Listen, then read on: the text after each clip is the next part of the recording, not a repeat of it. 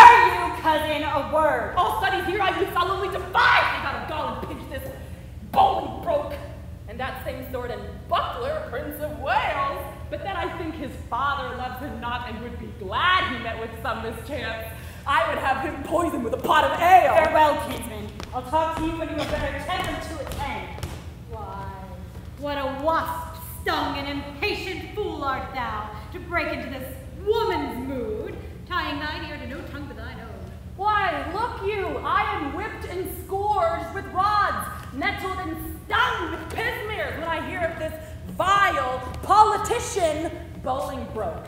In Richard's time, what do you call the place? A plague upon. It is in Gloucestershire. 'Twas where the madcap duke his uncle kept, his uncle York, where I first bowed my knee unto this king of smiles, this Bolingbroke blood. At Berkeley Castle. You say true. Why, what a candy deal of courtesy this fawning greyhound then did proffer me. The devil takes us customers. Good uncle, Forgive me, tell your tale, I have done. Nay, if you have not, do it again. We will stay your leisure. I have done, it faith. Then once more to your Scottish prisoners. Deliver them up without their ransom straight, and make the Douglas son your only mean for power in Scotland, which for divers reasons, which I shall send you written, be assured will easily be granted. You, my lord, your son in Scotland being thus employed, shall secretly into the bosom creep of that same noble prelate, well beloved, the Archbishop. Of York, is it not? True, you bears hard his brother's death at Bristol, the Lord Scroope. I speak not this in estimation, as what I think might be, but what I know is ruminated, plotted, and set down, and only stays but to behold the face of that occasion that shall bring it on. Why, it cannot choose but be a noble plot, and then the power of Scotland and of York to join with Mortimer, huh? And so they shall. In faith, it is exceedingly well aimed. And 'tis no little reason bids us speed, to save our heads by raising of a head. For bear ourselves as even as we can, the king will always think him in our debt, and think we think ourselves unsatisfied, till he hath found a time to pay us home. And see already how he doth begin to make us strangers with his looks of love. He does, he does. We'll be revenged on him. Cousin, farewell. No further go in this, than I by letters shall direct your course. When time is ripe, we shall be suddenly. I'll steal to Glendower and Lord Mortimer, where you and Douglas and all our powers at once, as I will fashion it, shall happily meet, to bear our fortunes in our own strong arms, which now we hold at much uncertainty. Farewell, good brother. We shall thrive, I trust. Uncle, adieu! Let the hours be short till fields and blows and groans upon our sport. Hey-ho! And be not four o'clock in the day, I'll be hanged. And yet our horse not packed. What, ostler? On and on! I prithee, Tom, beat cut saddle, put a few flocks at the points, poor Jade is wrung in the withers out of all sense. Peas and beans are staying here as a dog, and that is the next way to give poor Jades the box. This house is turned upside down since Robin Ostler died. Poor fellow never joyed since the price of oats rose. It was the death of him. I think this be the most villainous house in all of London Road for fleas. I am stung like a tench. Like a tench! God's body, there is never a king christened could be better bit than I have been since the first cock. Why, they will allow a snare a Jordan, and then we leak in your chimney, and your chamber light reads, please, like a loach.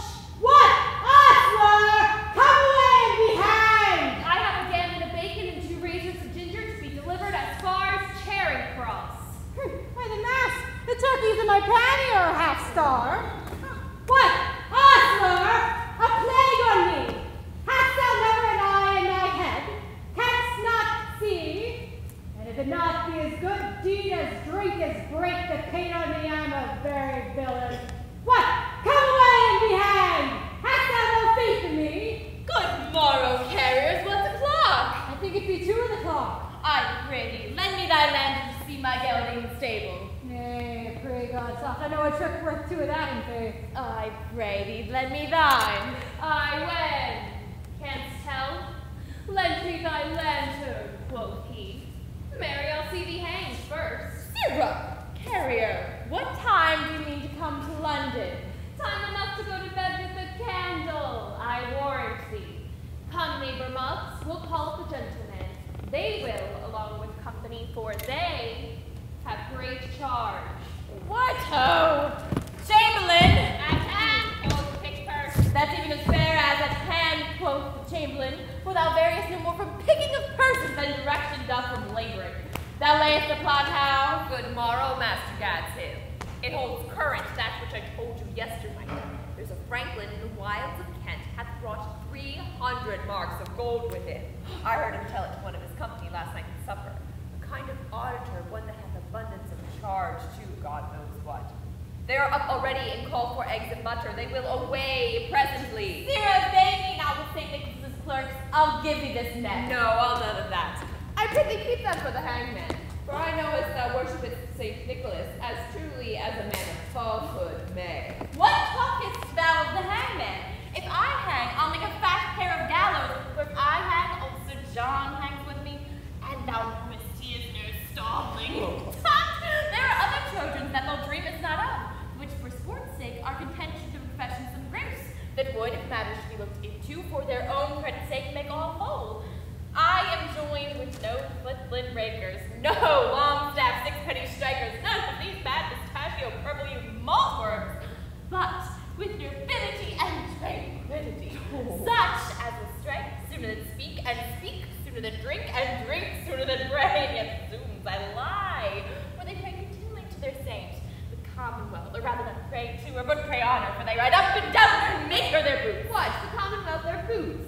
Will she keep out water in a foul way? She will, she will. Justice has liquored her. We steal as in a castle cocksure. Give me thy hand, that shalt have a share in our purchase as I am a true man. Nay, let me have it rather as you are a false thief. Go to. Homo is a common name to all men. Bid the ox bring my gelding from the stable. Farewell, you muddy knave. I have removed Falstaff's horse and he frets like a gummed velvet. Stand loose!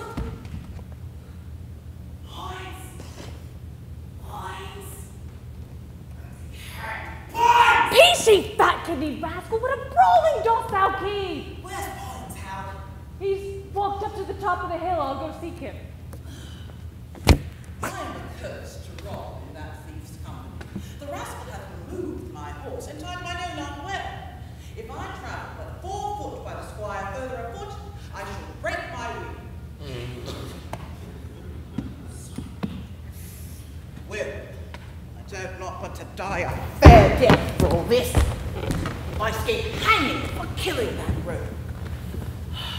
I have forsworn his company hourly, any time this two and twenty years, and yet I am bewitched by the rogue's company. If he has not given me medicines to make me love him, I'll be hanged. It could not be else. I have drunk medicines. Poins! Plague upon you both. Bardolph! Peto! I'll starve ere I run a foot further! Eight yards of uneven ground is a three score and ten miles afoot with me. Stony-hearted villains know it well enough. A plague on it, when thieves cannot be true one to another.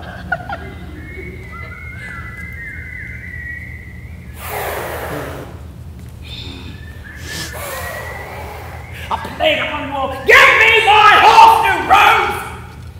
Give me my horse and be hanged! Peace, ye fat guts! Lay down! Lay down here close to the ground and list if thou can hear the tread of travelers. Have you any levers to lift me up again, being down? Blood, I'll not bear mine own flesh so far put again for all the coin in thy father's exchequer. I prithee, good prince, help me to my horse, good king's son. Out, you rogue! Shall I be your ostler? Go, hang thyself in thine own apparent heir apparent garters. If I be taken, I'll peach for this. If I do not have ballads made on you all and sung to filthy tunes, may a cup of sack be my poison. When a jest is so forward, and a foot too, I hate it.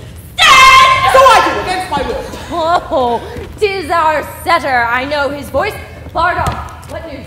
Casey, Casey, on with your vizards. There's money and the king's coming down the hill. He's going to the king's exchequer. Ye lie, you rogue, 'tis going to the king's tavern. There's enough to make us all. To be hanged. Um, sir, you four shall front them in the narrow lane. Ned Poins and I will walk lower. If they escape from your encounter, then they light on us. How many of them be there? Some eight or ten. Fools! Will they not rob us? What? A coward, Sir John Podge. Indeed. I am not John of Gaunt, your grandfather, but yet no coward, Hal. Well, we leave that to the proof. Sirrah Jack, thy horse stands behind the hedge. When thou needest him, there thou shalt find him. Farewell, and stand fast. Where are disguises? Here, hard by, stand close. Now, my masters, happy man with his dog, say I. Every man to his business. Come, neighbor, the boys shall lead our horses down the hill. We'll walk afoot a while and ease our legs.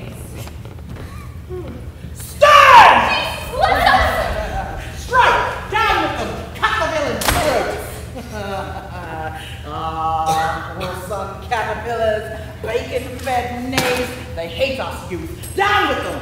Please them! Oh, we aren't done with we and ours forever. Hang you gore-bellied knaves, are ye undone? No? Fat shafts. What? Young men must live. The thieves have found the true men. Now could thou and I rob the thieves and go merrily to London, it would be argument for a week, laughter for a month, and a good jest forever. Stand close, I hear them coming. Now, my masters, let us share and then to horse before day. If by points and Poins be not two arrant cowards, there's no equity stirring. There's no more valor in that voice than in a wild duck.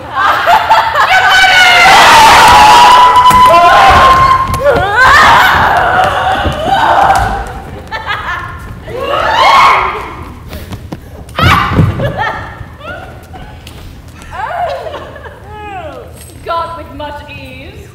Now, merrily to horse. The thieves are all scouted and possessed with fear, so strongly that they dare not meet another. Each takes his fellow for an officer. Away, good Ned!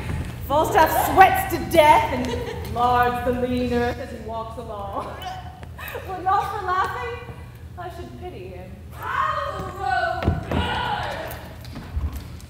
But for mine own part, my lord, I could be well contented to be there, in respect of the love I bear your house. He could be well contented. Why is he not then? In respect of the love he bears our house, he shows in this. He loves his own barn better than he loves our house. Let me read more. The purpose you undertake is dangerous. Why, that's certain. Tis dangerous to take a cold, to sleep, to drink. But I tell you what, my lord fool, out of this nettle danger we pluck this flower. Safety. The purpose you undertake is dangerous, the friends you have named uncertain, the time itself unsorted, and your whole plot too light for the counterpoise of so great an opposition. Say you so, say you so. I say unto you again, you are a shallow, cowardly hind, and you lie! Why, what a lack brain is this? Our plot is as good a plot as ever was laid. Our friends true and constant. A good plot, good friends, and full of expectations. An excellent plot, very good friends! Zoons, and I were now by this rascal, I could brain him with his lady's fan. Is there not my father, my uncle, and myself? Lord Edmund Mortimer, my Lord of York, and Owen Glendower? Is there not besides the Douglas? What pagan rascal is this? An infidel. Ah, you shall now see, in very sincerity of fear and cold heart will he to the king and lay open all our proceedings. Hang him. Let him tell the king. We are prepared. How now, Kate? I must leave you within these two hours. Oh, my good lord, why are you thus alone? For what offense have I this fortnight been a banished woman from my Harry's bed? Tell me, sweet lord, what is that takes from thee thy stomach pleasure and thy golden sleep? Why dost thou bend thine eyes upon the earth, and start so often when thou sittst alone? Why hast thou lost the fresh blood in thy cheeks, and given my treasures and my rights of thee to thick-eyed musing and cursed melancholy? In thy faint slumbers I by thee have watched and heard thee murmur tales of iron wars, Cry courage to the field. Thou hast talked of sallies and retires, of trenches tents, of prisoners ransomed and of soldiers slain, and all the currents of a heady fight. Thy spirit within thee hath been so at war, and thus hath so stirred thee in thy sleep, that beads of sweat hath stood upon thy brow like bubbles in a late disturbed stream. And in thy face strange motions have appeared, such as we see when men restrain their breath on some great sudden pest. Oh, what portents are these?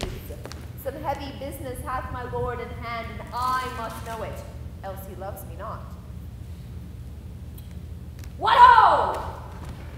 Is Gilliams with the packet gone? He is my lord, an hour ago. Hath Butler brought those horses from the sheriff? One horse, my lord. He brought in now. What horse? A roan, a croftier, is it not? It is my lord. That roan shall be my throne. Well, I will back him straight. Ooh, Esperance!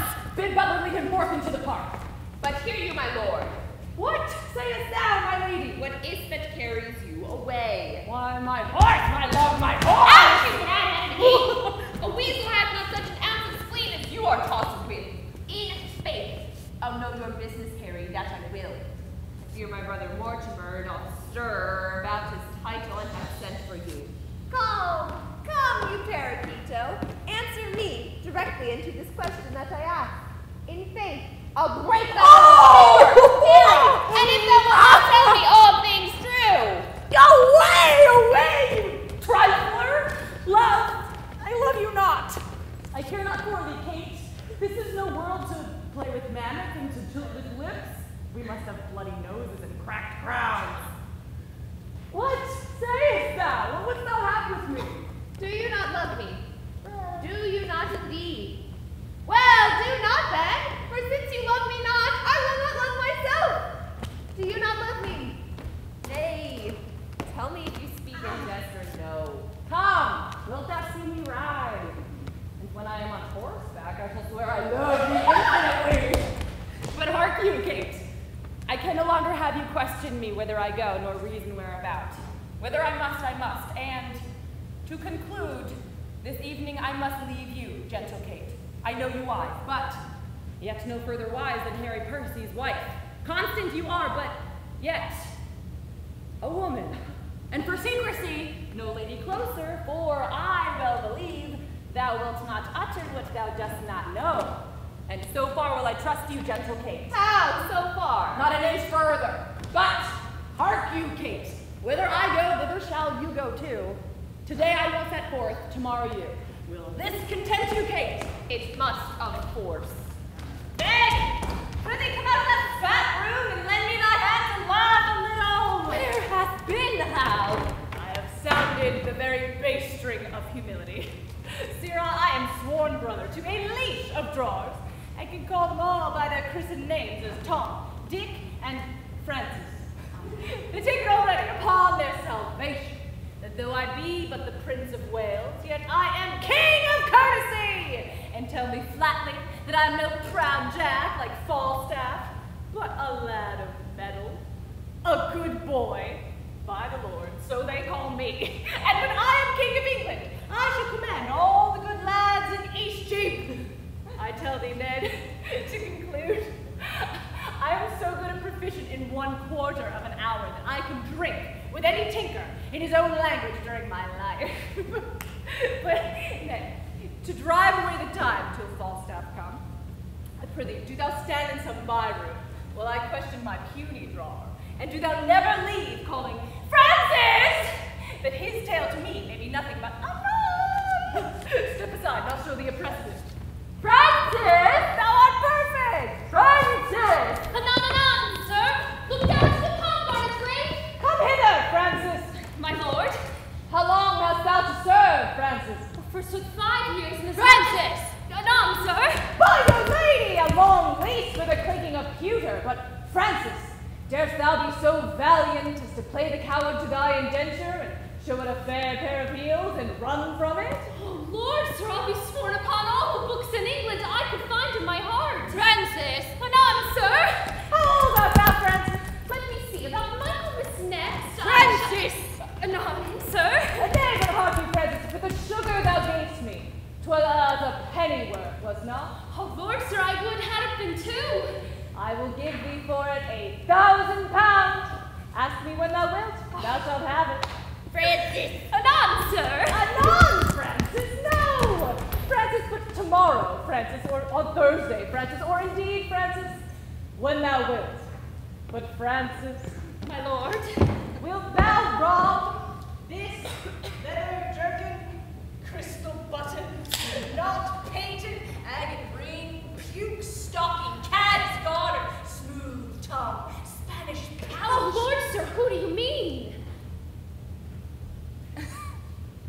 Why then your brown bastard is your only drink, for look you, Francis, your white canvas doublet will sully. What, sir? Francis! Away, you rogue! Thou not hear him call? Francis! Francis. Francis! Francis. Francis! Francis. Francis! Francis! Francis! Francis! Fran- Francis! Francis! Fran- Francis! Wait, Standest thou still and hearest such a calling? Look to the guests within. My lord, old Sir John and half a dozen more at the door. Shall I let them in? Uh, let them alone a while and then open the door. thieves are at the door, shall we be merry? I'm merry as a cricket, my lad. But hark ye, what cunning match hast thou made with this disk of the drawer? Come, what's the issue? What's a mob, Francis? Anon, anon, sir. that ever this fellow should have fewer words than a parrot, and yet the son of a woman.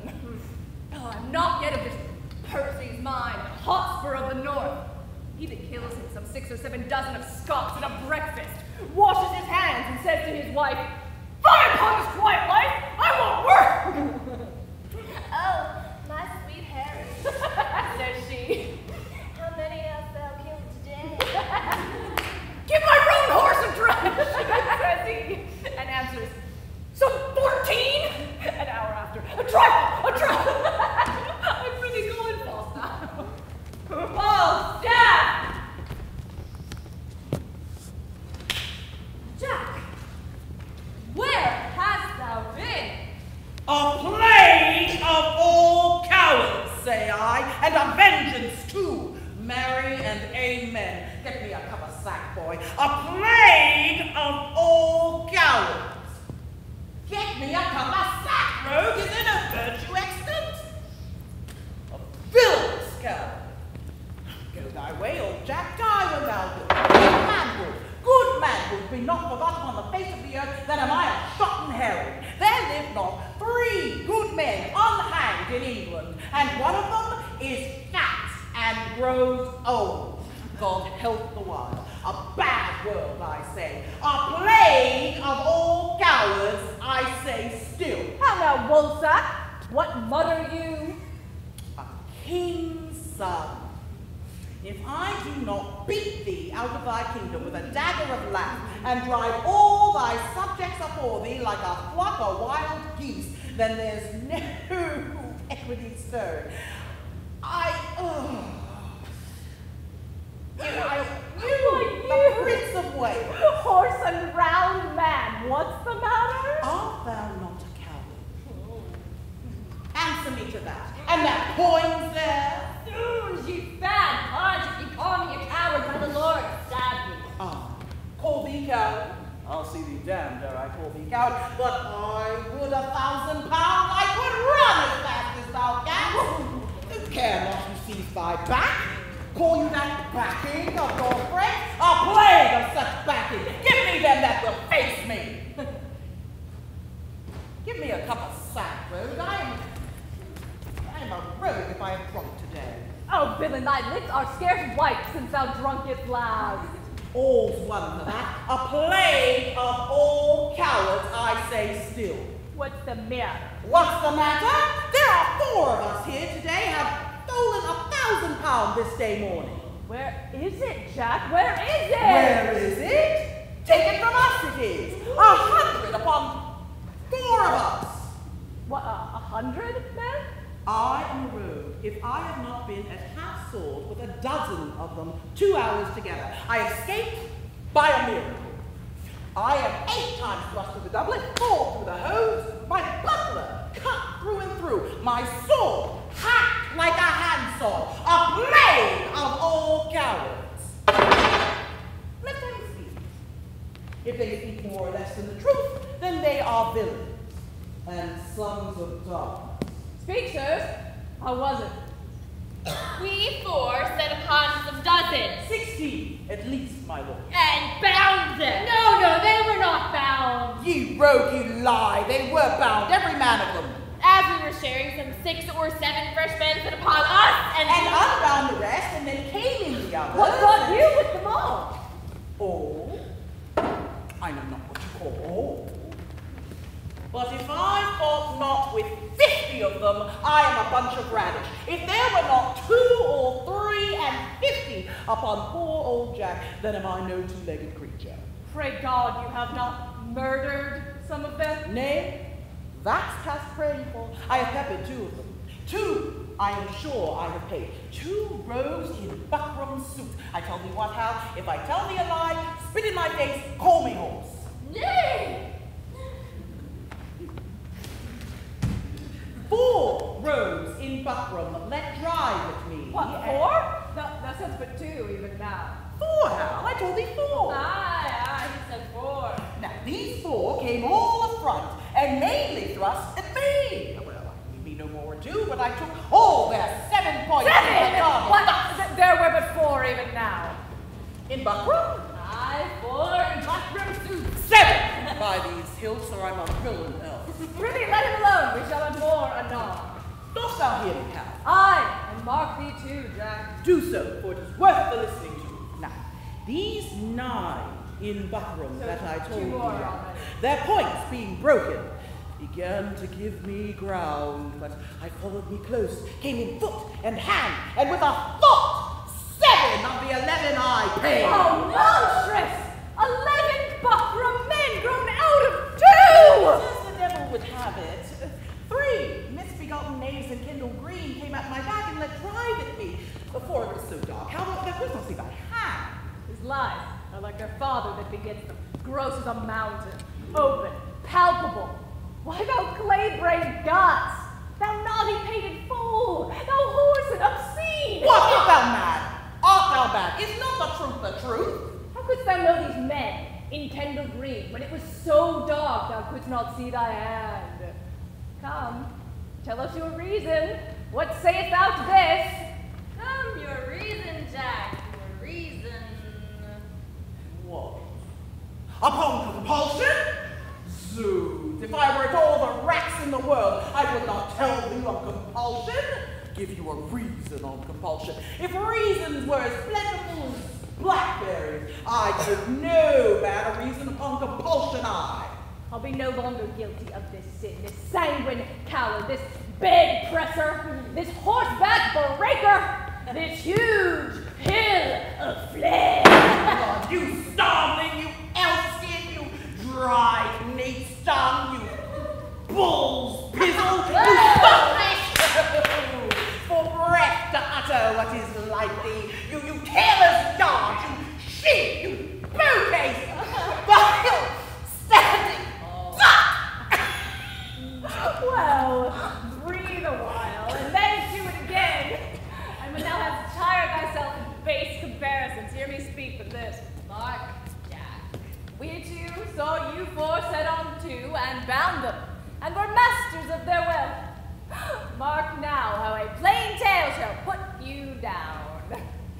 Then did we two set on you four, and with a word outfaced you from your prize, and have it, yea, and can show it you here in the house.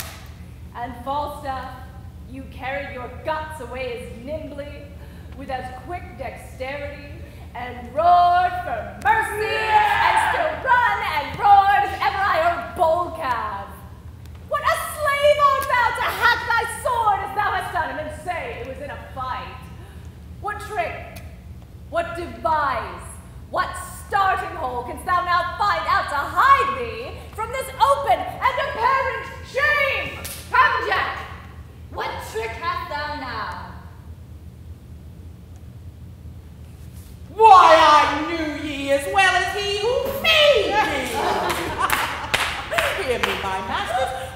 Was it for me to kill the heir apparent? Should I turn upon the true prince?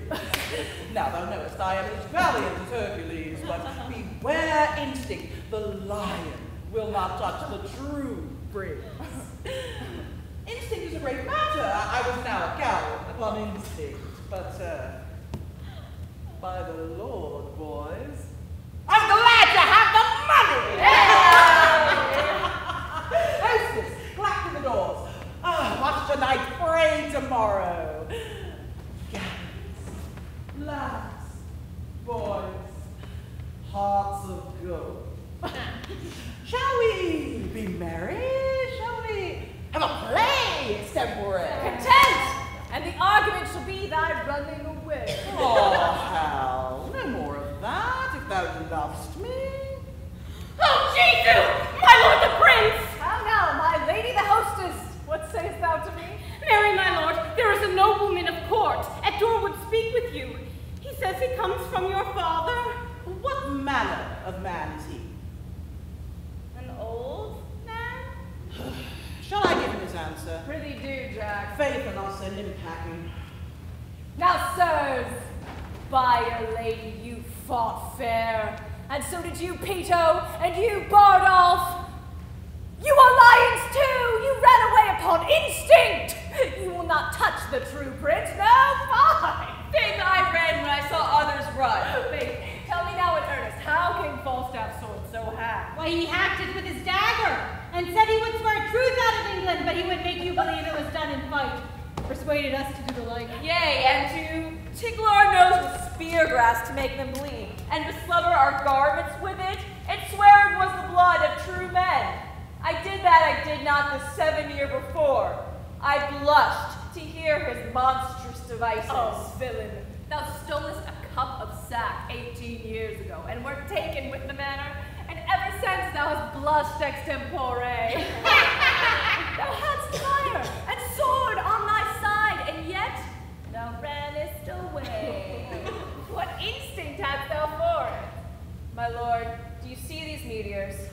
Do you behold these exultations? I do. What think you they pretend? Hot livers and cold purses. Color, my lord, if rightly taken. no, if rightly taken, halter. Oh, here comes Lean Jack. Here comes Barebone. How now, my sweet creature of bombast? How long is to go, Jack, since thou sawest thine own knee? My own knee, Hal. When I was about thy years, Hal, I was not an eagle's talon in the waist. Plague of sighing and grief blows a man up like a bladder. There's villainous news abroad. Here was Sir John Bracy from your father. You must to court in the morning. That same mad fellow of the north, Percy, and uh, he of Wales, who swore the devil was true the cross of the Welsh shore. What the plague you call him? Uh, Glendower. Owen, Owen, same. And his son-in-law, Mortimer, an old Northumberland, and, uh, oh, that sprightly Scot of Scots, Douglas, who runs a horseback up a hill perpendicular. Well, he is there too. One more Mordake and a thousand blue caps more. Worcester has stolen away tonight. Your father's beard has turned white with news. But, uh, tell me, Hal, I've got a horrible fear. Thou being our apparent, could the world pick you out again three such enemies as that fiend Douglas, that spirit Percy, and that devil Glendower? Art thou not horribly afraid? Doth not thy blood thrill at it? Another wit in faith. I lack some of thy instincts. Well, thou wouldst be horribly chid tomorrow when thou comest to thy father. If thou lovest me, practice an answer. Do thou stand for my father and examine me upon the particulars of my life?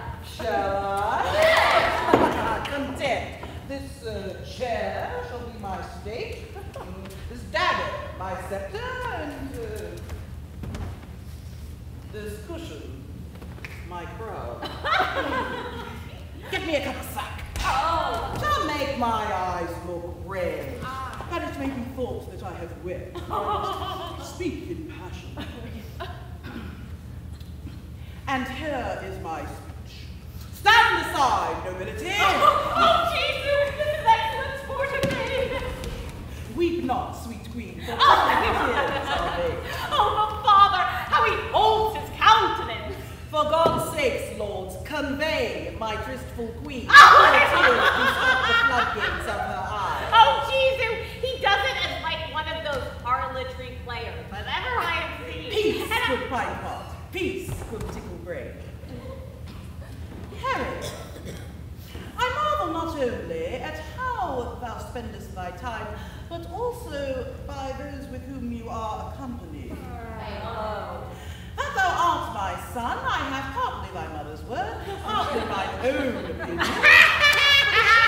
a villainous trick of thine eye, and a foolish hanging on thy nether lip that doth warrant me.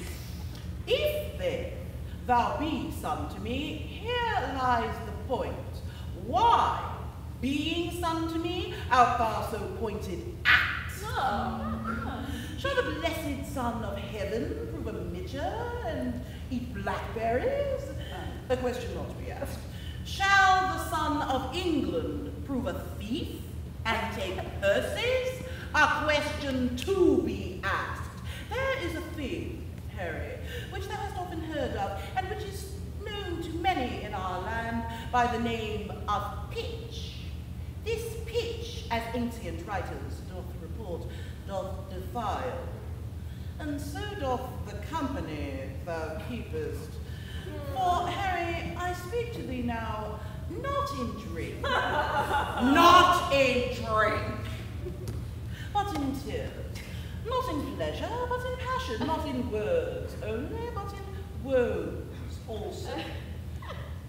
And yet, there is a virtuous man I have often noted in thy company, but I know not his name. What manner of man in it like your majesty? A portly man in faith, and a corpulent, of a cheerful look, a pleasing eye, and a most noble carriage. His uh, age, as I think, be some uh, fifty? Or by our lady inclining to three score?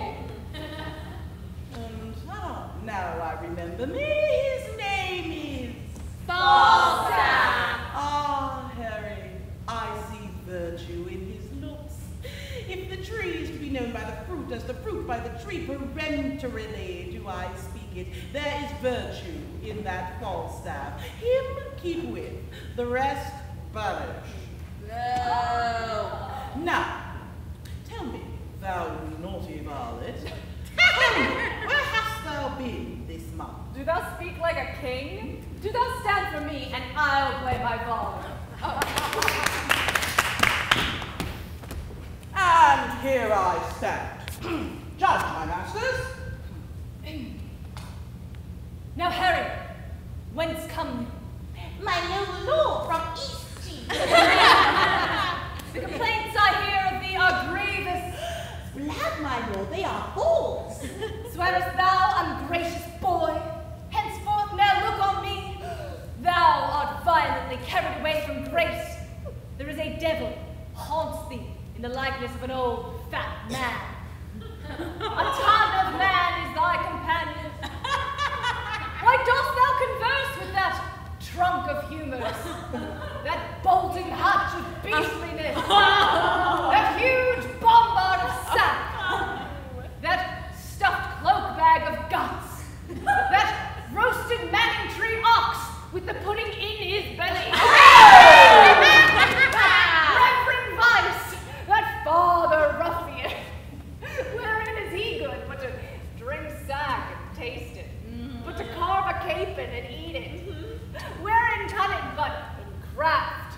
Wherein crafty but in villainy? Wherein villainous but in all things?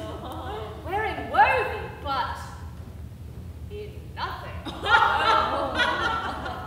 I would your grace would take me with you. Who means your grace? That villainous, abominable misleader of youth, My lord, the man I know. I know thou dost. That he is old, more's the pity, his white hairs to witness it, but uh, that he is saving, thy reverence. Oh, master, well that I utterly deny.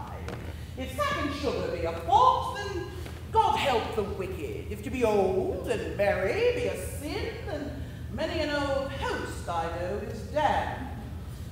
If to be fat be to be hated, then the Pharaoh's lean kind are to be loved. No, good my lord, banish Peto. No, oh. banish boy. But for sweet Jack Falstaff, kind Jack Falstaff, true Jack Falstaff, valiant Jack Falstaff, and therefore all the more valiant, being that he is old Jack Falstaff. Banish not him by Harry's company. Banish not him by Harry's company. Banish plump Jack and, and banish all the world. I do. I will.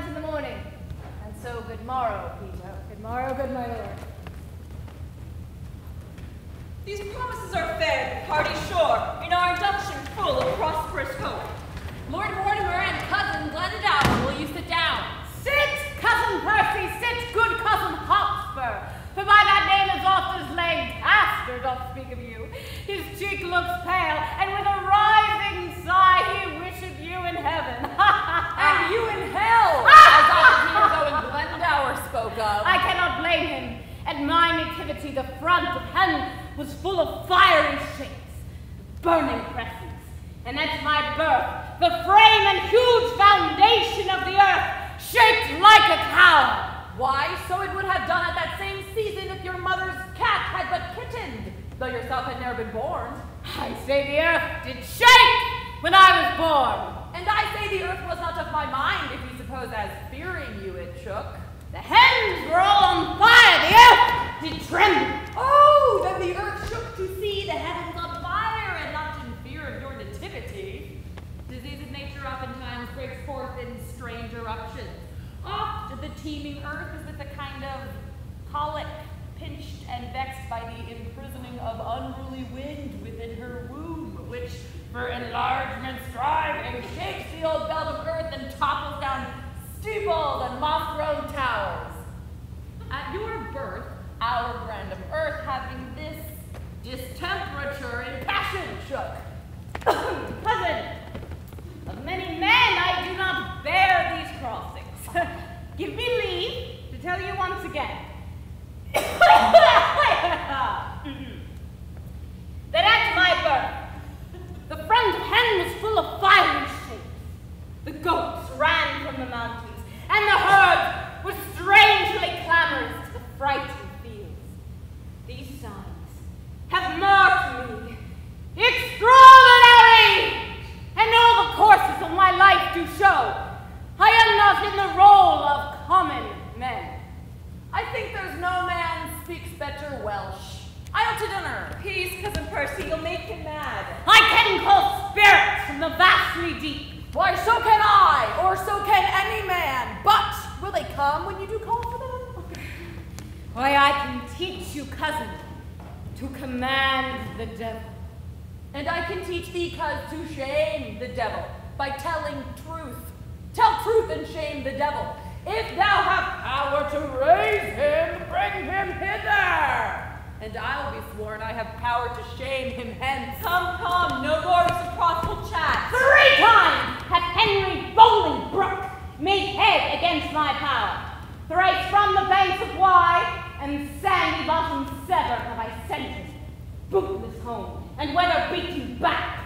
Home without boots, and in foul weather too. Come! Here's the map. Shall we divide our right according to the threefold order tamed? The Archdeacon has divided it into three limits, very equally.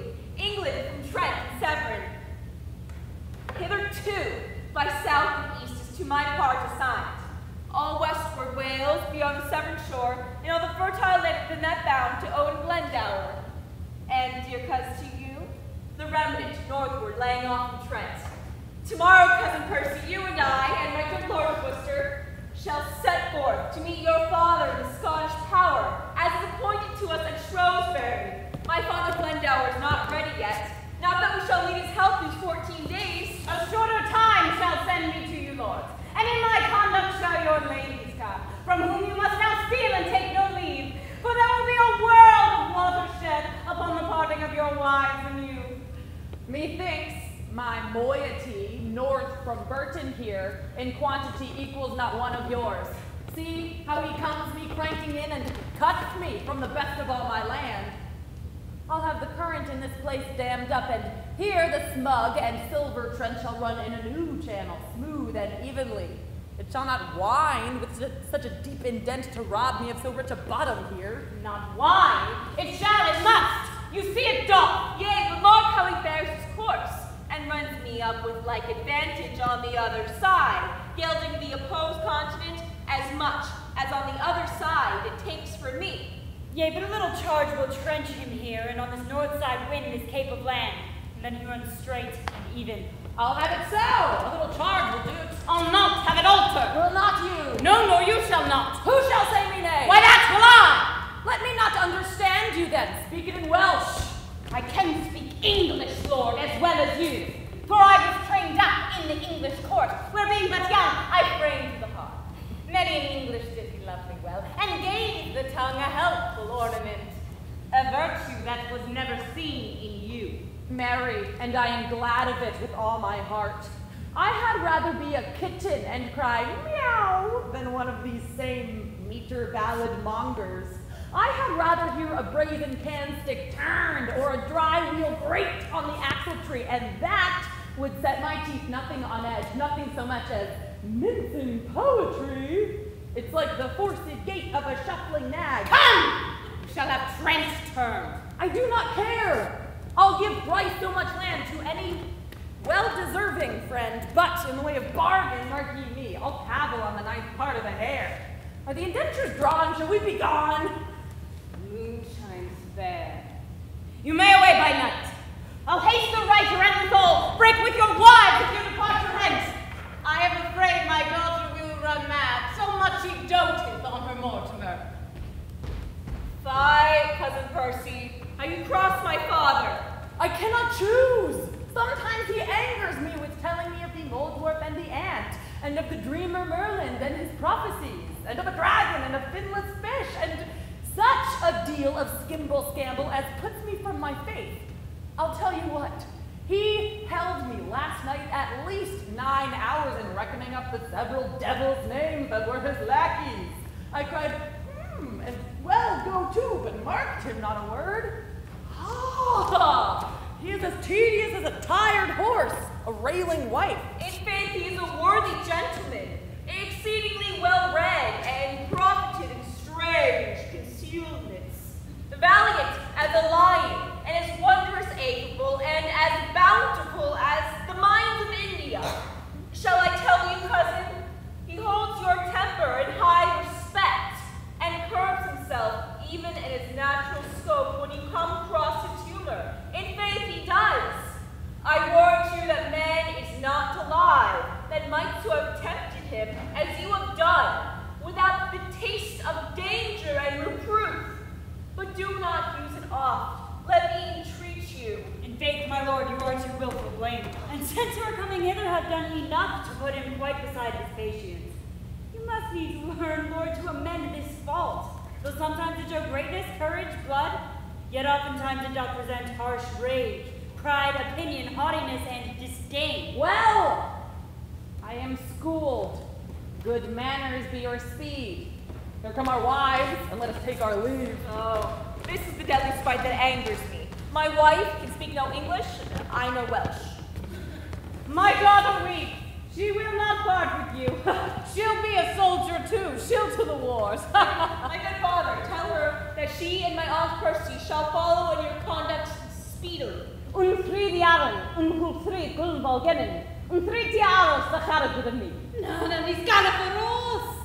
Oh, Lady McIreland, no, please don't stop it. Oh, this is peevish self-winded harlotry, one that no persuasion can do good upon. He'd moet de kleven van Ireland. He'd moet de kleven nice and air. Oh, he'd de kleven.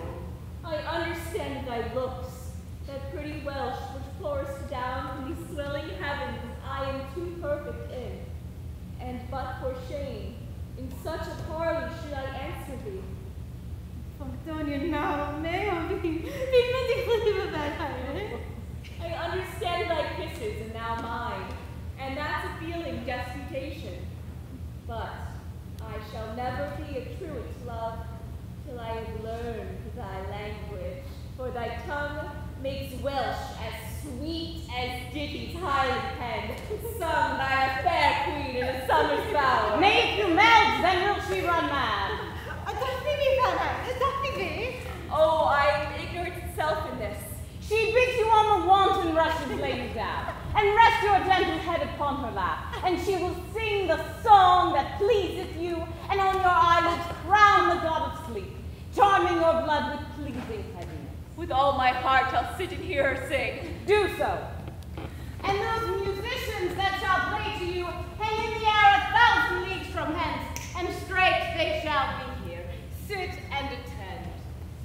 Come, Kate, thou art perfect in lying down. Come, quick, quick, that I might lay my head in thy lap. Oh, go, ye giddy goose. I now perceive the devil understands Welsh, and 'tis no marvel he is so humorous. By Our Lady, he is a good musician. Then you should be nothing but useful, for you are altogether governing by humors. Lie still, ye thief, and hear the lady sing in Welsh. I had rather hear, lady, my brock howl in Irish. Wouldst thou have thy head broken? No. Then be still. Neither, 'tis a woman's fault. Now God help thee. To the Welsh lady's bed. What's that? This. She sings.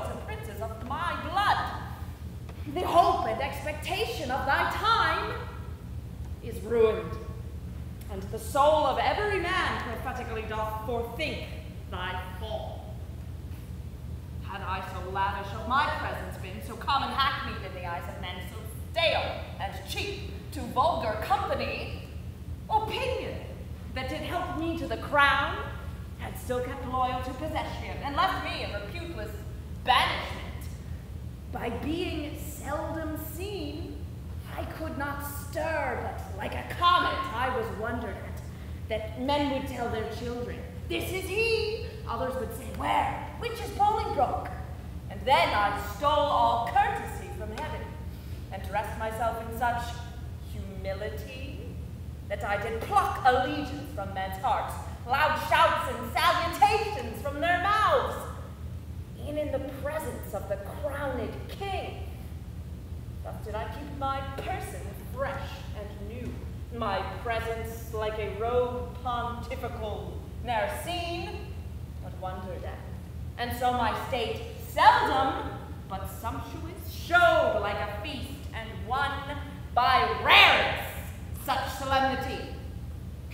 The skipping king, he ambled up and down with shallow jesters and rash bavin wits, mingled his royalty with capering fools, drew a companion to the common streets, and feasted himself to popularity, that being daily swallowed by men's eyes, they surfeited with honey and began to loathe the taste of sweetness. Whereof a little, more than a little, is by much, too much. So when he had occasion to be seen, he was but as the cuckoo is in June, heard, not regarded, seen, but with such eyes as sick and blunted with community, afford no extraordinary gaze, being with his presence glutted, gorged, and full. And in that very line, Harry, standst thou, for thou hast lost thy princely privilege with vile participation. Not an eye that is is aweary of thy common sight. Save mine, which hath desired to see thee more, which now doth that I would not have it do, make blind itself with foolish tenderness. I shall hereafter, my thrice gracious lord, be more myself. For all the world, as thou art to this hour, was Richard then, when I from France had quoted Ravenspur, and e'en as I was then, is Percy now. Now by my scepter and my soul to boot, he hath more worthy interest to the state than thou the shadow of succession. For of no right, nor color like to right, he doth fill fields with harness in the realm. And being no more in debt to years than thou, leads ancient lords and reverend bishops on to bloody battles and to bruising arms. What never dying honor hath he got? Thrice hath this Hotspur Mars in swallowing clothes discomfited great Douglas, tamed him once, enlarged him, and made a friend of him. To shake the peace our throne. And what say you to this? Uh, Percy, Northumberland, Archbishop's Grace of York, Douglas, Mortimer, capitulate against us and are up. But wherefore do I tell these news to thee? Why, Harry, do I tell thee of my foes, which art my nearest and dearest enemy? Thou that art like enough, through vassal fear, base inclination, and the start of spleen, to fight against me under Percy's pay, to dog his heels and curtsy at his frowns, to show how much thou art degenerate. Do not think so. You shall not find it so. I will redeem all this on Percy's head, and in the closing of some glorious day be bold to tell you that I am your son, when I will wear a garment all of blood, and stain my favors in a bloody mask which washed away shall scour my shame with it. And that shall be the day, when ere it lights, that this same child of honor and renown, this gallant Hotspur, this all-praised knight, and your unthought of Harry, chance to meet. For every honor, sitting on his helm, would they were multitudes, on my head my shames redoubled. For the time will come that I will make this northern youth exchange his glorious deeds for my indignities, and I will call him to so strict account that he shall render every glory up, or I will tear the reckoning from his heart. In the name of God, I promise here, the which, if he be pleased, I shall perform.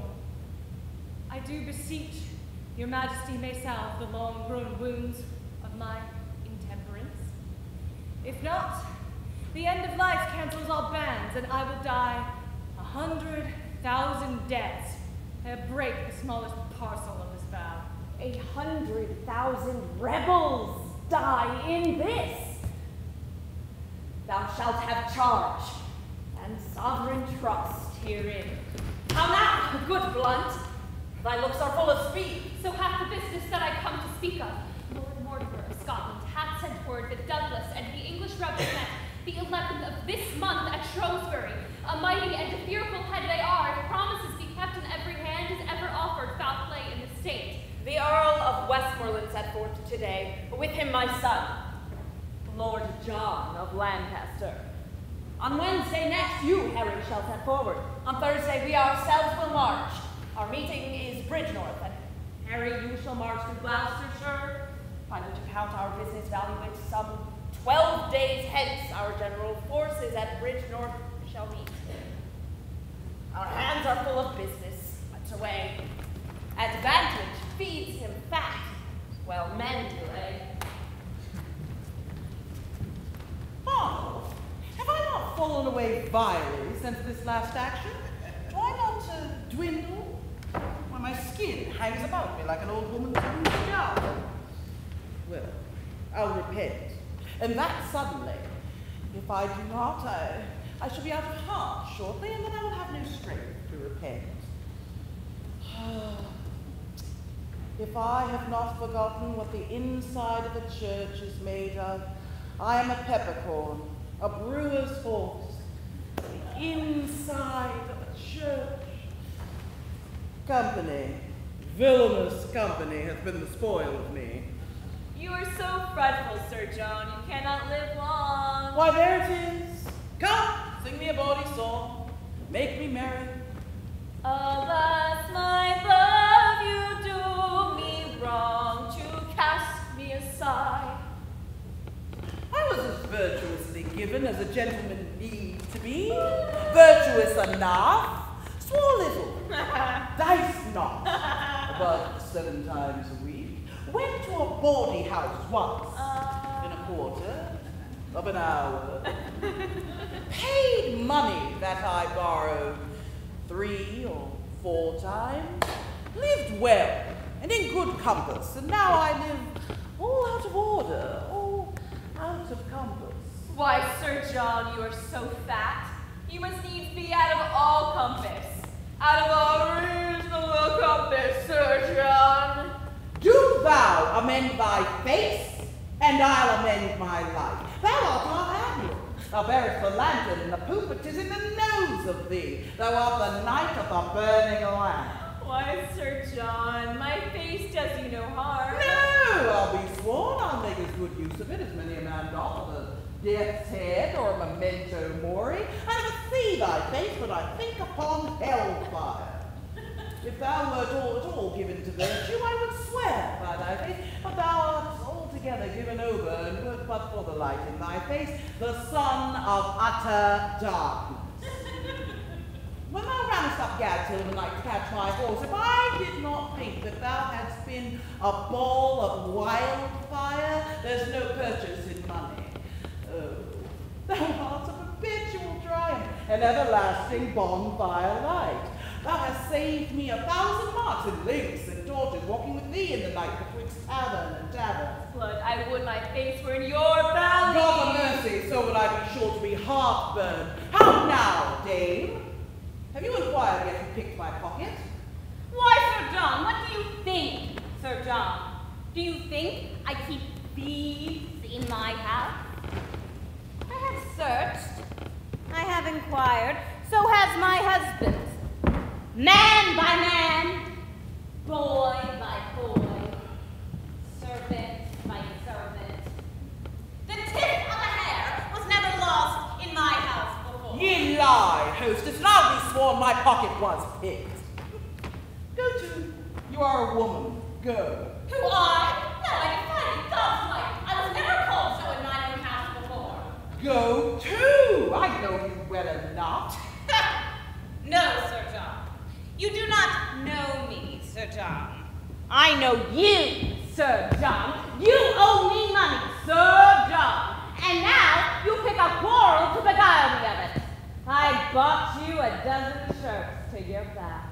Downwards. Filthy downwards. I have given them away to bakers' wives, and they have made bolters of them. Now, as I am a true woman, you owe money here besides, Sir John, for your diet and buy drinkings, and money lent you. Four and twenty pounds. He has his part of it. Let him pay. He, alas, he is poor, he has nothing. I'll not pay a denier. Will you make a younker of me? Shall I not take mine ease in mine own inn? But I shall have my pocket picked? I have lost a seal ring of my grandfather's worth forty marks. Oh, Jesus! I have heard the prince tell him, I know not how oft, that ring was copper! The prince is a jack, a sneak cock slut. If he were here, I would cuddle him like a dog, if he were to say so. Oh, no, lad. Must we all march? Yea, two by two, Newgate fashion. My lord, I pray you hear me! What sayest thou, Mistress Quickly? How doth thy husband? I love him well. He is mad. Oh, good my lord, hear me! I prithee, let her alone and listen to me. What sayest thou, Jack? The other night, I fell asleep here behind the arras and had my pocket picked. This house is house. They pick. What dost thou lose, Jack? Well, believe it. How three or four bombs of forty pound apiece, and a seal ring of my grandfather. A trifle, some eight penny matter. So I told him, my lord, I said I heard your grace say so. And my lord, he speaks most vilely of you, like a foul-mouthed man, as he is, and said he would cudgel you. What? He did not. There's neither faith, nor truth, nor womanhood in the house. There's no more faith in thee than a stewed prude. no more truth in thee than a drawn fox. And for womanhood, Maid Marian may be the deputy's wife of a war to thee. Go, you thing, go. Say what thing? What thing? What thing? Why, a thing to thank God. I have no thing to thank God on, I would thou shouldst know it. I am an honest man's wife, and setting thy knighthood aside, thou art a knave to call me so. Setting thy womanhood aside, thou art a beast to say otherwise. Say what beast, thou knave, thou? What beast? Why, uh, an otter. An otter? Sir John, why an otter? Why, she's neither fish nor flesh, a man knows not where to have her. Thou art an unjust man and say so. Thou or any man knows where to have me. thou knave, thou! I'll say it's true, hostess, and he slanders thee most grossly. So he doth you, my lord, and said this other day you ought him a thousand pounds. Sirrah, do I owe you a thousand pounds? A thousand how? A million! Thy love is worth a million, thou owes me thy love. Nay, my lord, he called you Jack, and he said he would cudgel you. Did I, Bardolph? Indeed, Sir John, you said so. Yea. If he said my ring were copper, I say 'tis copper. Darest thou be as good as thy word now? oh. why how? Thou knowest as thou art but man, I dare, but as thou art prince, I fear thee, as I fear the roaring of a lion's well. And why not as the lion? The king is to be feared as the lion. Dost thou think I'll fear thee as I fear thy father? But, Sirrah, there is no room for faith, truth, nor honesty in that bosom of thine. It's all filled up with guts and midriff. Charge an honest woman with picking thy pocket. Why, thou whoreson, obscene, embossed rascal! If there were anything in thy pocket but tavern reckonings, memorandums of bawdy houses, and one poor pennyworth of sugar candy to make thee long-winded. if thy pocket were enriched with any other injuries but these, I am a villain. Art thou not ashamed? Dost thou hear how thou knowest in the state of innocency Adam fell, and what shall poor Jack Falstaff do in the days of villainy? Thou seest I have more flesh than another man, and mm-hmm. therefore more frailty. You confess it, then. You picked my pockets. It appears so by the story. Hostess, I forgive thee.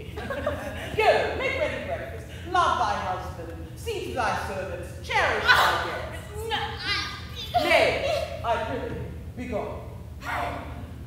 Now, to the news at court. For the robbery, lad, how is that answered? Oh, my sweet beef. I must still be good angel to thee. The money is paid back again.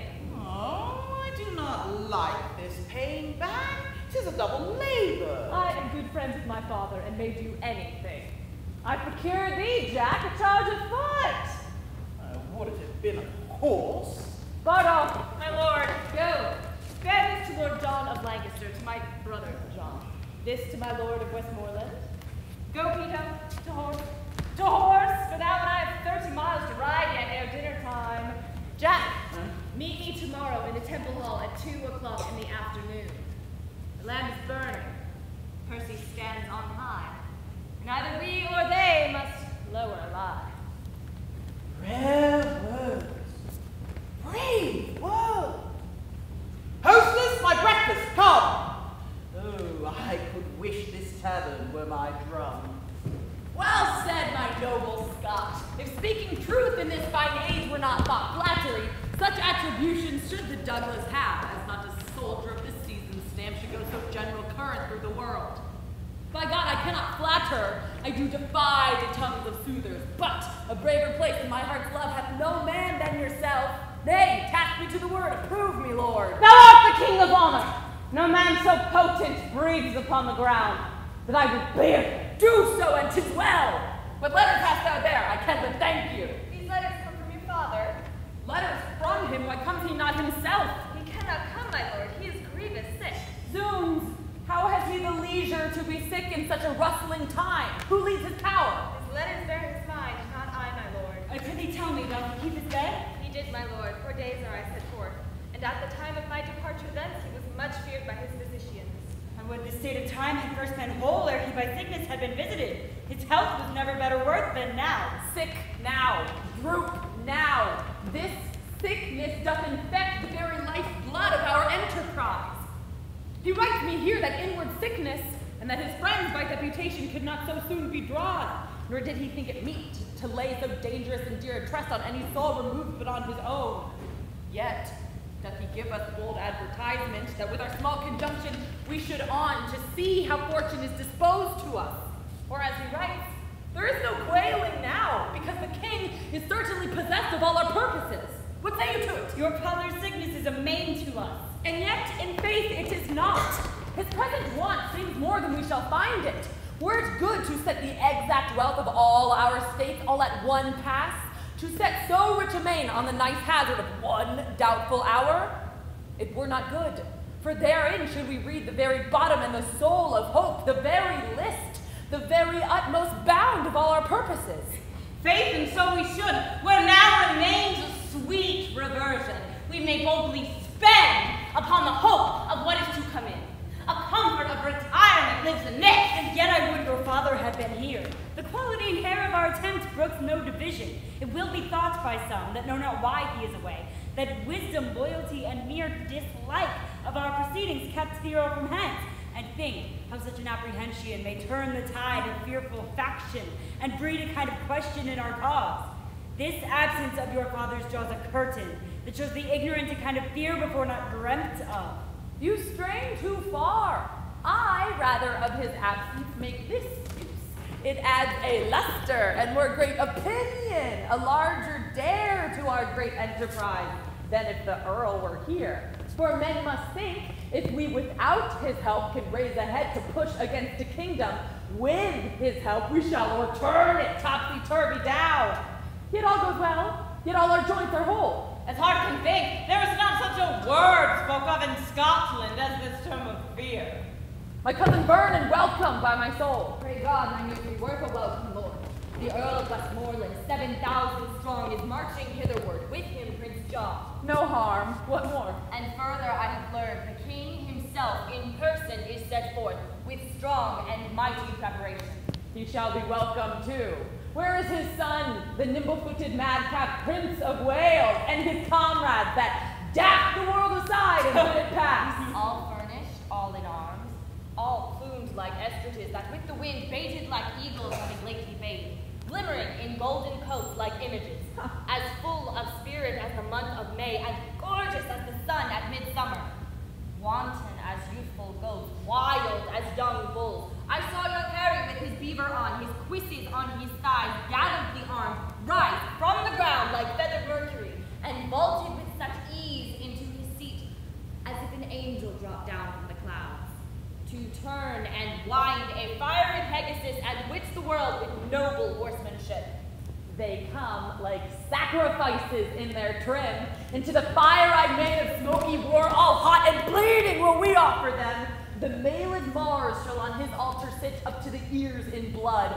I am on fire to hear this rich reprisal is so nigh and yet not ours. Come, let me taste my horse, who is to bear me like a thunderbolt against the bosom of the Prince of Wales. Harry to Harry shall, hot horse to horse, meet and ne'er part till one drop down a corpse. Oh, that Glendower were come! There is. I learned in Worcester as I rode along, he cannot draw his power this fourteen days. That's the worst tidings that I hear of yet. Ay, by my faith, that bears a frosty sound. What may the king's whole army reach unto? To thirty thousand. Forty let it be. Come, let us take a muster speedily. Doomsday is near. Die all, die merrily. Ha! Talk not of dying. I am out of fear. Of death on death's hand for this one half year. Bardolph, get thee ahead to Coventry. Fill me a bottle of sack. Will you give me money, Captain? Lay out! Lay out! Bid my Lieutenant Peto meet me at Town's End. I will, Captain. Farewell. I be not ashamed of my soldiers, then am I a soused good. I have misused the king's press damnably. I have got an exchange for a hundred and fifty soldiers, three hundred and odd pounds. I press me none but good householders, yeomen's sons, inquire me out contracted bachelors, such as have been asked twice on the bands. Such a commodity of warm slaves as had us leave here the devil as a drum. I press me none but those with hearts in their bellies no bigger than bin's heads. And they have bought out their services, and now my whole charge consists of such as indeed have never been soldiers, but discarded, unjust serving men, younger sons to younger brothers, revolted tapsters and ostlers, trade fallen, the cankers of a calm world and a long peace. And such have I to fill up the rooms of those who have filled and bought out their services, that you would think that I had a hundred and fifty tattered prodigals lately come from swine keeping, from eating draff and husks. No eye have seen such scarecrows. How now, Bloomjack? What, how? How now, mad wag? What a devil lost thou in Warwickshire? My good Lord Westmoreland, I cry you mercy, I had thought your honour had already been in Shrewsbury. In faith, Sir John, 'tis more than time that I were there and you too. But my powers are there already. The king I can tell you looks for us all. We must away all night. Tut, no fear of me. I am as vigilant as a cat to steal cream. I think to steal cream indeed, for thy theft hath already made thee butter. But tell me, Jack, whose fellows are these that come after? Mine, Hal, mine. I did never see such pitiful rascals. Tut, tut. Good enough to toss. Food for powder, food for powder. They'll fill a pit as well as better. Aye, but Sir John, we think they're exceeding poor and fair, beggarly. Faith, for their poverty, I know not where they have that, and for their bareness, I'm sure they never learned that of me. No, I'll be unless you call three fingers on the ribs bare. But Sirrah, make haste. Percy is already in the field. What, is the king in camp? He is, Sir John. I fear we shall stay too long. Well, the latter end of a fray, or the beginning of a feast, it's a dull fighter and a keen guest. We'll fight with him tonight. Dinner be. You give him an advantage! No, why say you so? Looks he not for supplies? So do we. His is certain, ours is doubtful. Good cousin, be advised, stir not tonight. Do not, my lord. You do not counsel well. You speak it out of fear and cold heart. do me no slander, Douglas, by my life, and I dare well maintain it with my life. If well-respected honor bid me on, I hold as little counsel with weak fear as you, my lord, or any Scot that this day lives. Let it be seen tomorrow in the battle which of us fears. Yea, or tonight. Content. Tonight, say I. Come, it may not be. I wonder much, being men of such great leading as you are, that you foresee not what impediments drag back our expedition. Certain horse of my cousin Vernon have not come up yet. Your uncle Worcester's horse came but today, and now their pride and mettle is asleep. Their courage with hard labor tame and dull, that not a horse is half the half of himself. So are the horses of the enemy in general journey baited and brought low. The better part of ours are full of rest. The number of the king exceedeth ours. For God's sake, cousin, stay till all come in.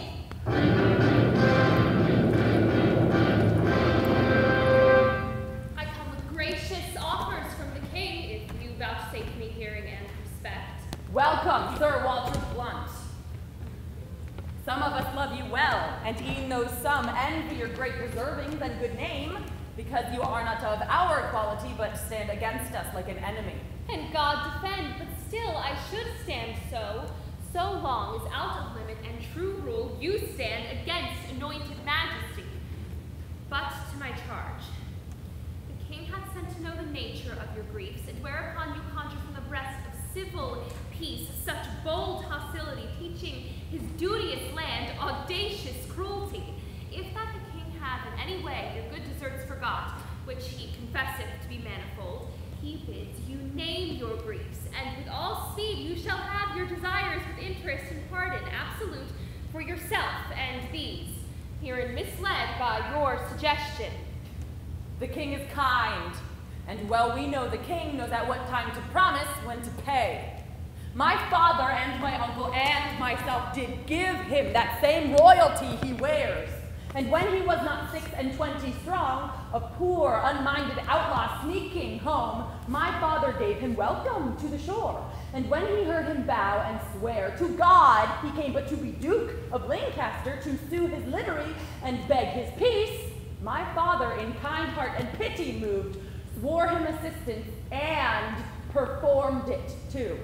Now, when the lords and barons of the realm perceived Northumberland did lead to him, the born rest came in with cap and knee, met him at boroughs, cities, villages, laid gifts before him, proffered him their oaths. He, presently, as greatness knows itself, steps me a little higher than his vow made to my father while his blood was poor, and now, forsooth, takes on him to reform some certain edicts and some strict decrees that lie too heavy on the commonwealth, cries out upon abuses, seems to weep o'er his country's death, and in this face, this seeming brow of justice, did he win the hearts of all that he did angle for.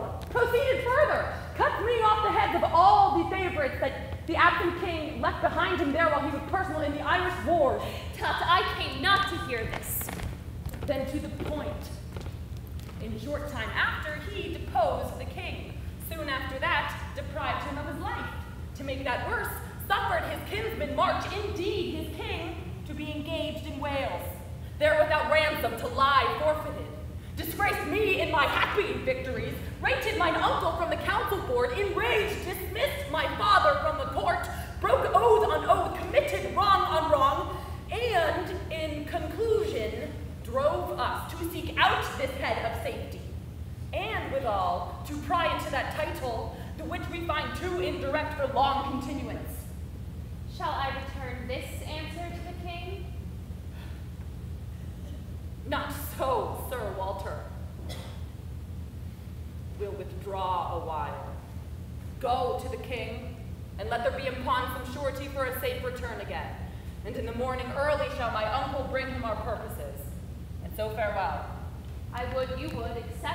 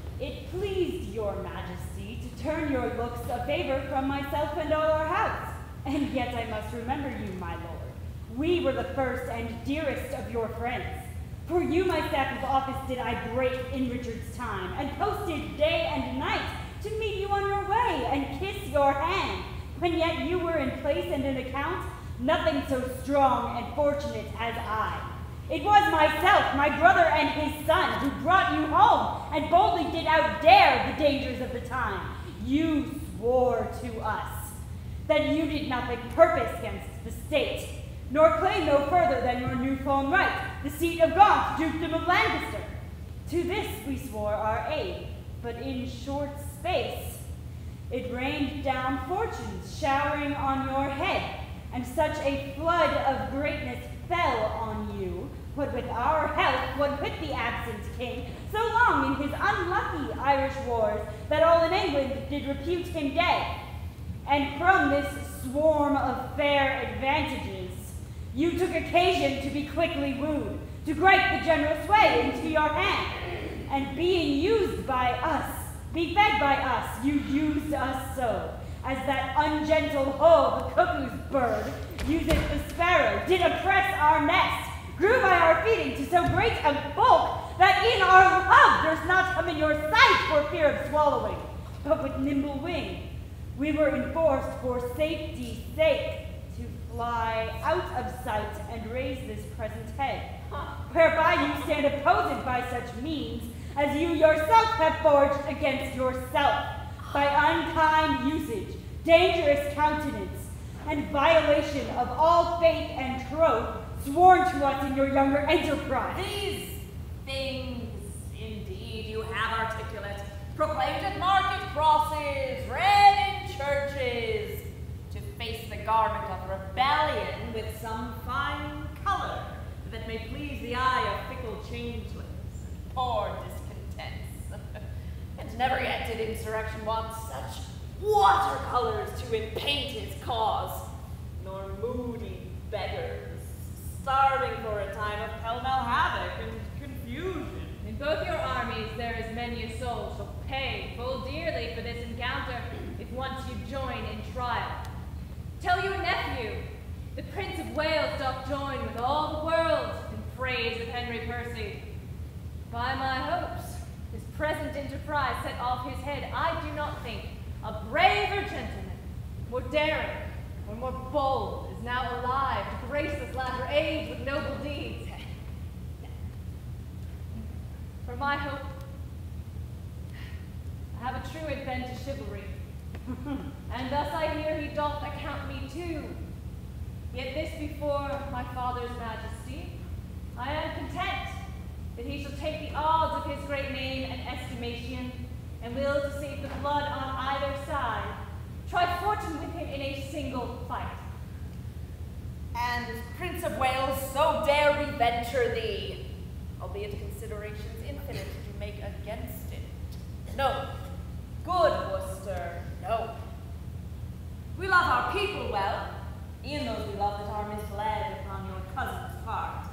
And will they take the offer of our grace, both he and they you?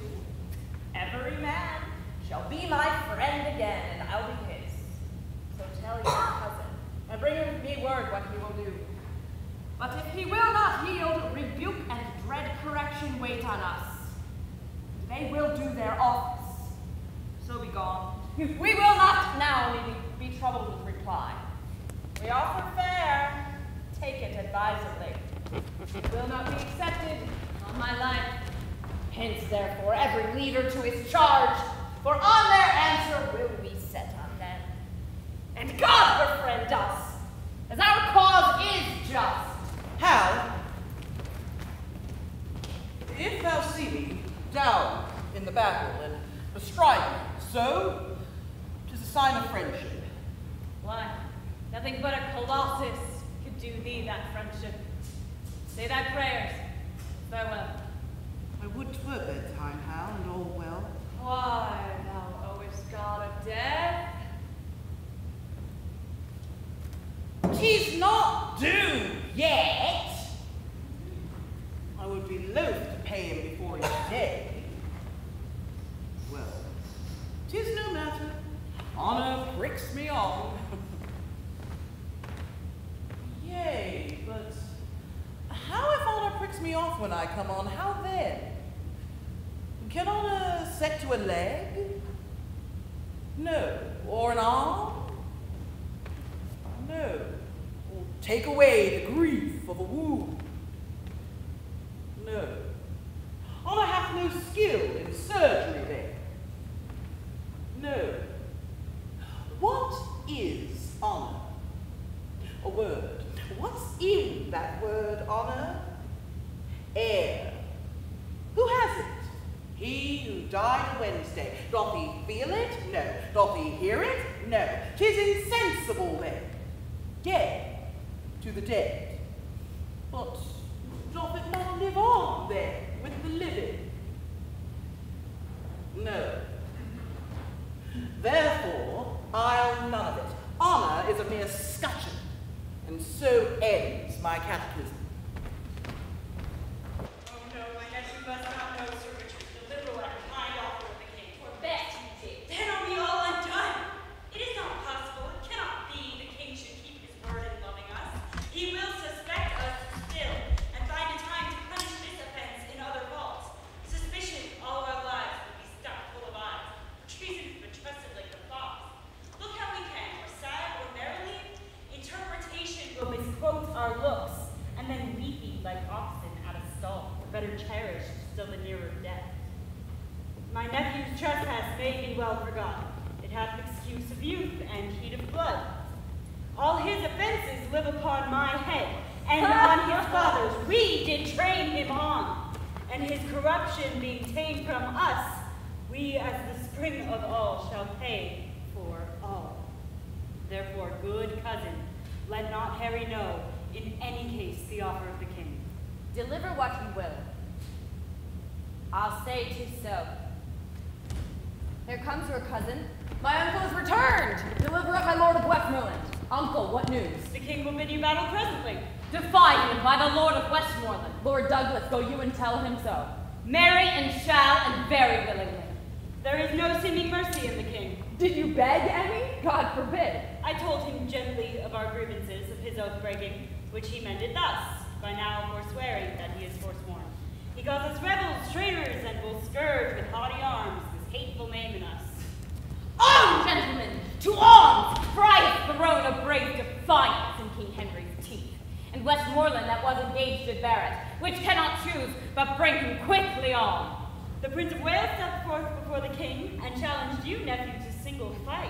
Oh, with the quarrel lay upon our heads, and that no man might draw short breath today but I and Harry Monmouth.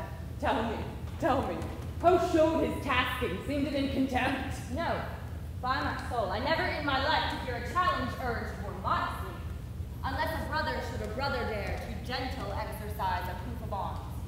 He gave you all the duties of a man, trimmed up your praises with a princely tongue, spoke to your deservings like a chronicle, making you ever better than his praise by still dispraising praise valued in you.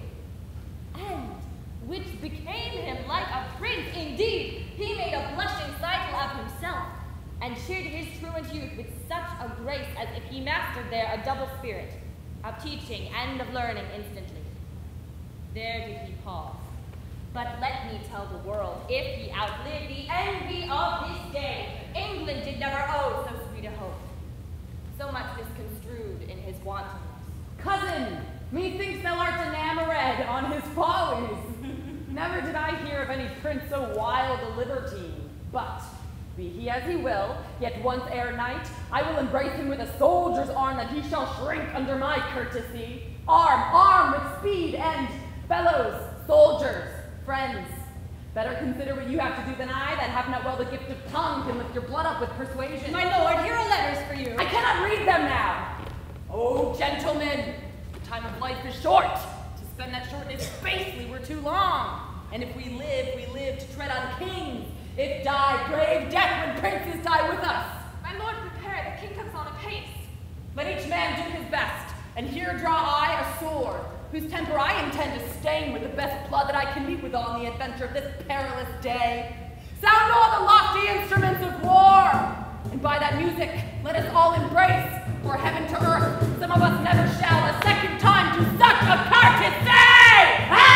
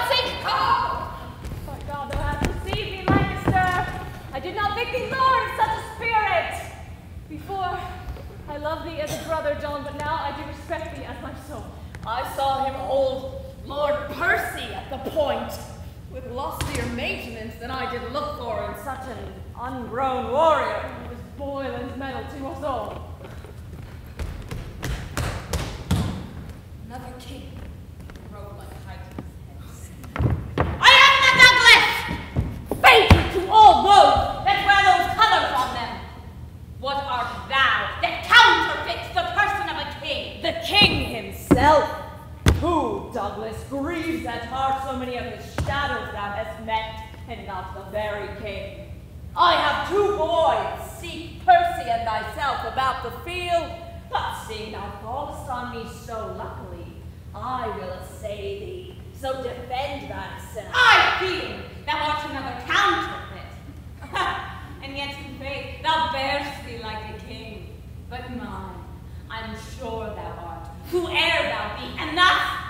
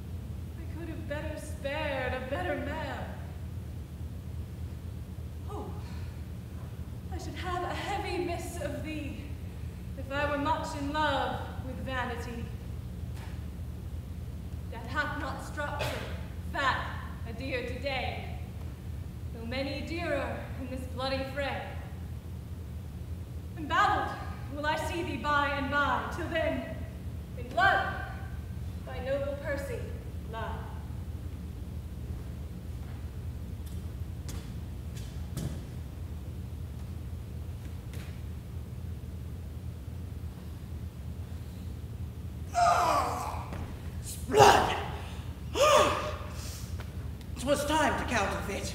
Or that hot termagant Scot had paid me. Scot and lot too. Counterfeit? No. I lie. I am no counterfeit. To die is to be a counterfeit. For he has not, not the he is but the counterfeit of a man who hath not the life of a man. But to counterfeit dying? When a man thereby liveth is to be no counterfeit, but the true and perfect image of life indeed. The better part of valor is discretion. By the better part I have paid, I have saved my life. Zounds. I'm afraid of this gunpowder, Percy, though he be dead. How if he should counterfeit too and rise? In faith, I'm afraid he would be the better counterfeit. Hmm. Therefore, I shall make him sure. Yea, and swear I killed him. Why may he not rise as well as I? Therefore, Sirrah, with a new wound in your thigh, come you along with me.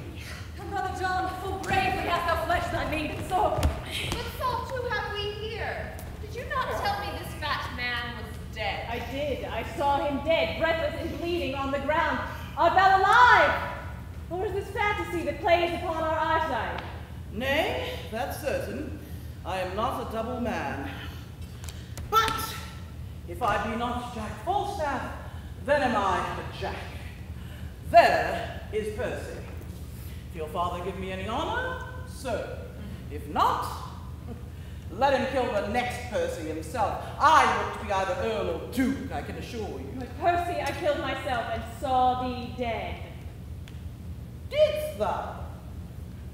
Lord, Lord, how the world is given to lying. Now, I grant you I was down and out of breath, and so was he, but we rose both in an instant, and was a long hour by Shrewsbury clock.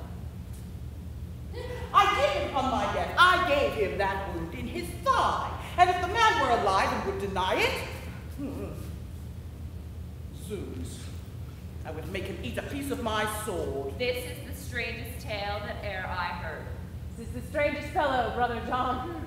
Come, bring your luggage nobly on your back. For my part, if a lie may do thee grace, I'll gild it with the happiest terms I have. The day is ours. Come, brother, let us to the highest of the field to see what friends are living, who are dead. I'll follow, as they say, for reward. He that rewards me, God rewards him.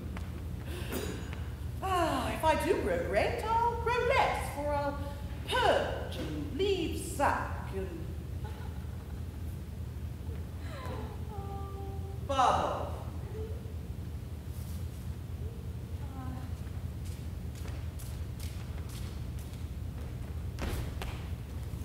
And live Cleveland, as a nobleman should Thus ever did rebellion find ill-spirited Worcester.